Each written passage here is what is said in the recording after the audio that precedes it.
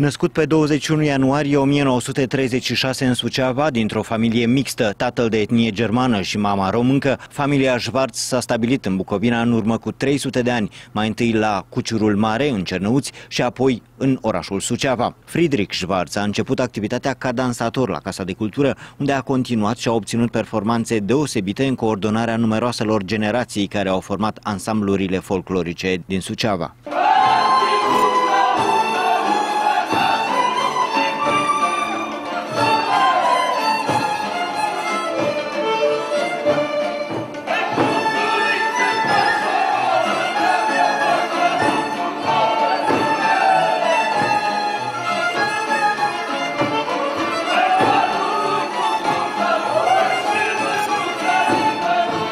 Ești aflarea timpului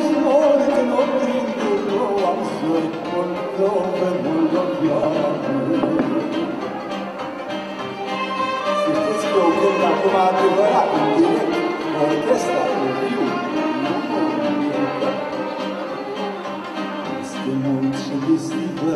auzi, chiu în flăcări, Moldova, Moldova, Moldova,